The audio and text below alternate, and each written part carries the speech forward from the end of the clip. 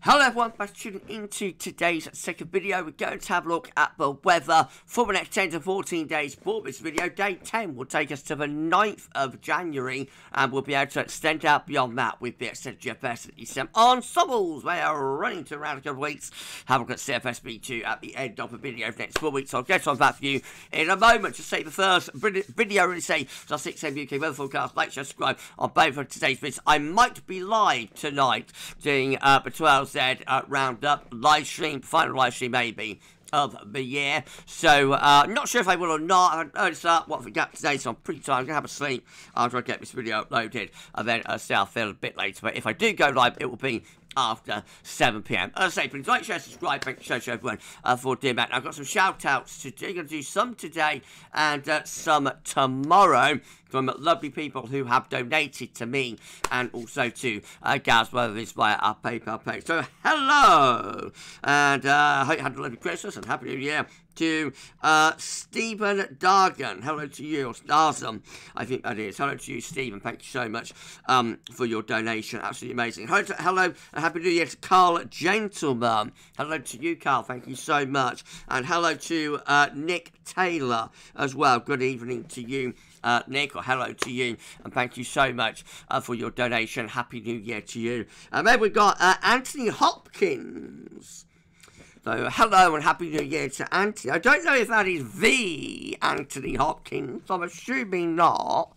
But, like, it'd be exciting if it was, wouldn't it? um, but, uh, no, hello to you, Anthony. Happy New Year. Hope you had a lovely, lovely um, uh, New Year. And, uh, hello, Clarice. Sorry. Right, well, if you'd like to give a donation to Gas Levins, all you need to do is go to our PayPal page, sign into your PayPal account. I mean, donate what you want. Get a shout out Happy New Year message from Gav in uh, the video. So thank you so much, everyone, for doing that. I say I've got some more shout outs to do tomorrow, but thank you to Stephen, to Carl, to Nick, and to Anthony. Blimey, I wonder.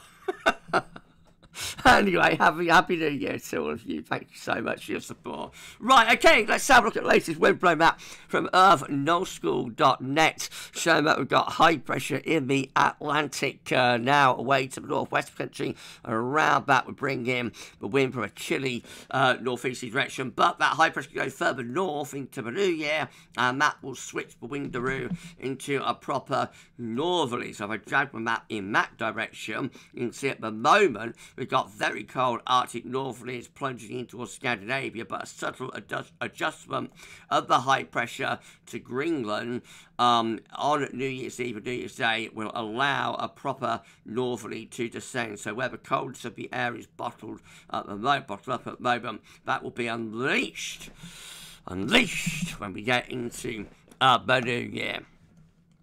Central temperature is gradually declining, currently sitting at 7.0, but still nearly 2.5 degrees above 61 to 99 average provisional to uh, yesterday, to the 29th of uh, December.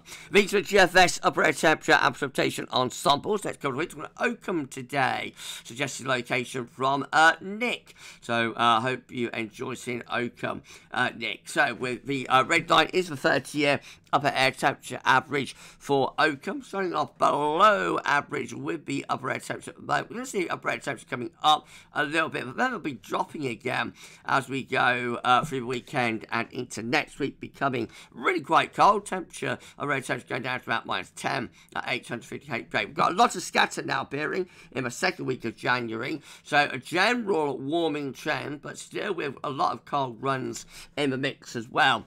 Though when we push on into second week of January, looks really quite uncertain at the moment. Precipitation-wise, quite a dry weather to come over the uh, next few days, though around uh, the weekend there could be some precipitation, possibly some snow uh, then. And then more unsettled into next week, and some of those will be rainfall spikes, some of them will be snow spikes. Uh, snow row for Oakham looks like that. So we do see uh, uh, snow spikes there, again around the weekend through here, and then uh, through the course next week. Maybe not as many snow spikes, though, as we were seeing with with these ensemble grass yesterday. Temperature anomalies for the next five days, the 4th of January, substantially colder than average. 8 to 12 day is a little bit colder than average, particularly for the north. And 10 to 14 day again, but north cold and average, south near normal. Precipitation anomalies for the next seven days, most places coming out drier than average. Right, let's go for chart data then. So a latest UK Met Euro Road talking midnight on Friday. Northerly winds, so uh, very cold. Uh, Arctic winds descending north-south across the country.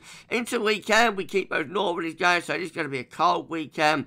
There'll be snow resting places as well, and certainly some sharp overnight frost. Maybe turning a bit less cold into the beginning of next week, because the wind backs slightly into more of west, so the south is still looking pretty cold. But ICON is uh, looking like this. So again, those Arctic northerly winds are descending through uh, Friday and into the weekend. It looks looking cold with northerly winds continuing. We keep wind in from the north into the beginning of next week. Gradually start to back that wind round to more of a westerly maybe, possibly implying a short end to this uh, cold snap. Once again, I forgot to get the KMA up, so that I'll get that up for you right now. Okay, so this is how the KMA is looking. Again, northerly winds descend through the new year. Will be a cold, wintry, potentially very wintry uh, weekend with snow possibilities for some of us. Into next week, low pressure comes in from off the Atlantic, turning things less cold. Could be fun and games with that transition, of course. Could see rain snow. I mean, cold air coming back in from the north and the northwest again towards the latter stages of uh, next week. We end up looking like that going into a milder push from southwest by the 11th of January. January. January. January. Do, do, do, so sorry everyone. Uh, GFS, starting with the uh, Midnight Run. And if I can find where we're going, we're going mad. GFS Midnight Run looks like this. So again, we've got those northerly winds descending. They'll be bringing winter at the end of the week through the new year, lasting into the weekend as well. Uh, now, early next week, some sort of trophies in the mix there. That could bring uh, some snow possibilities from westerlies across country early next week. And then into a milder push of westerly winds as we're getting up towards day 10. Beyond that, going very mild with high pressure to the south and dragging up along that southerly southwesterly before we go back into those northerlies uh, again in the extended. Check that out. That gets us towards the middle of January with northeasterly winds bringing potentially some very cold air in from the north. So very up and down there with a midnight run. At times very cold, but there is a very mild interlude that we go through for a few days just around slightly beyond day 10. Um, GFS 6 Z in comparison, again with those uh, northerly winds descending through the new year into start next week. Well, we could get a snow event out of that area of low, punching through the country into the cold air.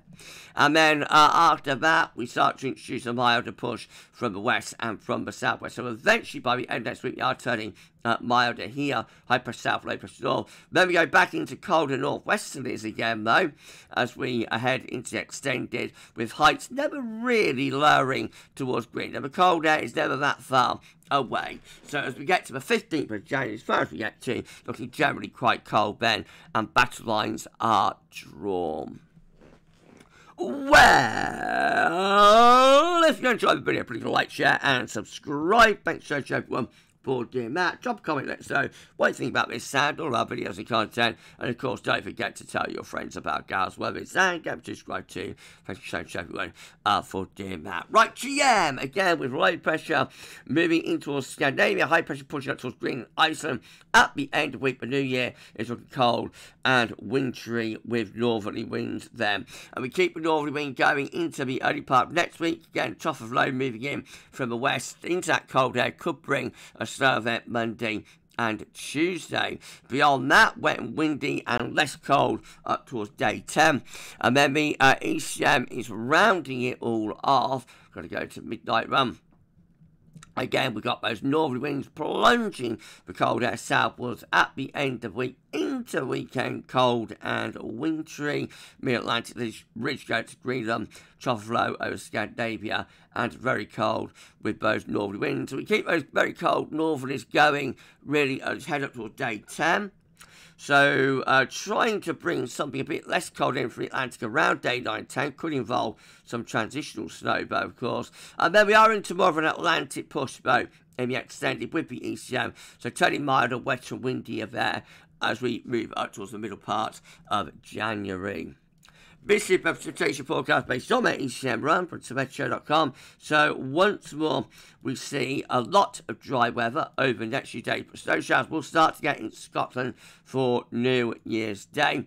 And um, we could bring some winter showers further southwards on Friday across parts of England and Wales, possibly some snow then into the weekend, snow galore into northern Scotland, and snow showers generally affecting coastal regions. Early next week, a band of uh, rain, sinks snow moves in from off the Atlantic. That's day 10, uh, 9th of January. These are the the table within the ECM ensemble today four day term from the Icelandic Met Office gets to the 9th of January. 14 members of the ECM on of a trough low over country, a block out in the Atlantic. That still looks cold and wintry to me. Got 13 with low pressure to the east, a ridge out to the west. That one looks potentially quite cold. We've got 11, possibly in slightly more of an Atlantic flow. Uh, we've got 10 again with high pressure blocking in the Atlantic up towards Greenland. Low pressure our south and east winds again in from a north northeast direction. And we've got three high pressure again blocking towards Greenland. Low pressure our south winds in from the northeast. Most of the options still look cold, I think, at day 10. In two weeks' time, these are the options that we've got, and this will be getting us to, of course, 14th of January. 16 members of the ECM on sides of low pressure in the Atlantic, bringing mild, wet, windy weather. Uh, another 16, I should say, doing that. Uh, 14 with a trough low over country combined for a ridge in the Atlantic. That could still be keeping things quite cold and wintry. Uh, 14 here uh, with high pressure around Greenland, Iceland, low pressure south and east. That keeps winds in for a cold north northeasterly direction.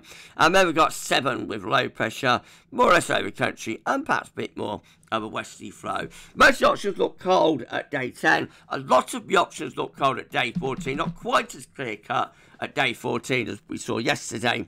Um, but I think still generally the emphasis within the ECM ensembles is probably still towards colder up to mid-January. CFS V2 and then we are done. So if I can find the right tab, there you go. These are 500 millibar high tolerance. Break it down into week periods. The first week period takes us from the 30th of December to the 5th of January. Low pressure is to our east, high pressure is to the west, and winds are coming in for a cold northerly uh, direction there. And then week two is going to be the uh, 6th through to the 12th of January. Again, low pressure through the north and the west of Europe.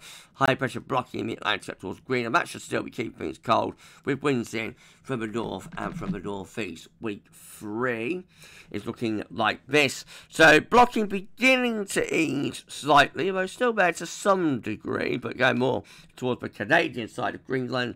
Um, and just probably reverting to more uh, west or southwesterly, so becoming less cold and uh, staying unsettled. And then week four, round it all off, is going to be the uh, 20th to 26th of January with high pressure to the south and that bring wind in from a much milder southwesterly direction January ending on a very mild note potentially there.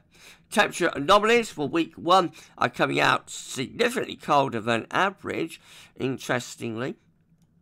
So not just UK, but really cold into uh, Europe as well. But we are included in that for a change, not on the periphery, but properly in the centre of it. So a cold week to come for week one. And week two is also looking colder than average as well quite significantly and uh, also substantially so with below average temperatures.